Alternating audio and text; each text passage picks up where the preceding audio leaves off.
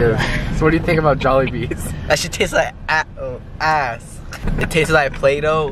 The there was like pasta there.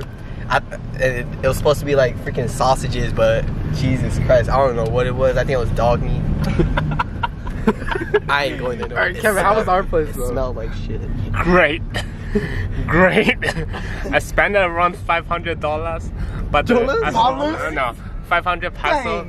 Dang. But I felt like I spent um, I should have spent Why is he acting? gay? around thousand peso for that shit. So new pretty wallet, worth new it. wallet, new wallet. You want it? Huh? What did you guys eat? I ordered a soup.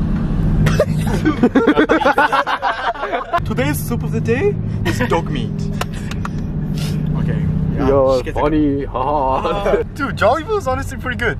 Yuki, where you at? I can't see you because of this flash. Okay, there you go. Ass. Well, the only only the gravy was good. Oh yeah, gra- Well, gravy was good. yeah. I have to admit, gravy was pretty good. The gravy and the ice cream. You know, apparently KFC here has gravy. Really? Yeah. I thought most places do. no, they don't. No, Oh. It's like beef. I'm kind of uncultured. What was that? yeah, mita mita sake. No, no, no. It was like people in trucks and shit. Some shady shit's going down. Some shady shit's going down.